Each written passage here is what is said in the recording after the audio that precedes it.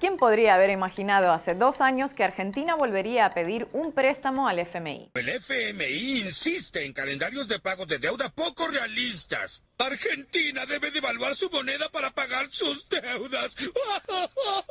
La noticia, después de días de rumores y con el peso perdiendo valor sostenidamente frente al dólar, cayó como una bomba en un país donde esas siglas infunden pavor en amplios sectores de la población. Así que lo primero era llamar a la calma. Estamos hablando de un Fondo Monetario Internacional muy distinto al que conocimos hace 20 años.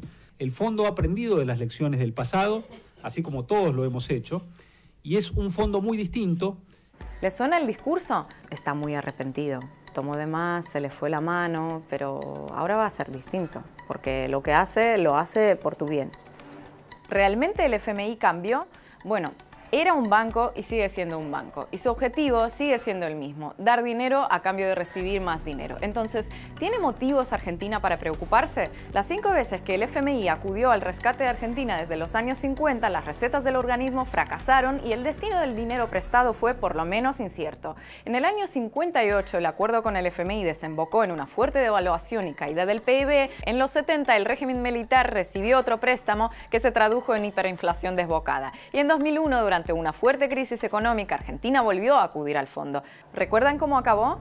Los argentinos seguro que sí. Más crisis, más inflación, más pobreza, más descontento social y el tristemente famoso corralito. Tal vez es que las recetas del FMI no funcionaron en Argentina por culpa de los gobiernos que las aplicaron, pero en el resto del mundo, con otros gobiernos, sí funcionan.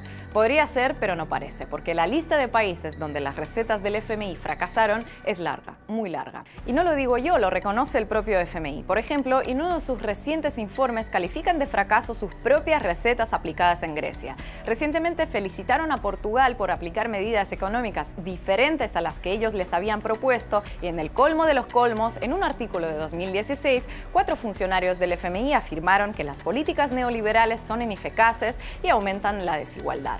Algo así como si el Vaticano publicara una encíclica dudando de la existencia de Dios.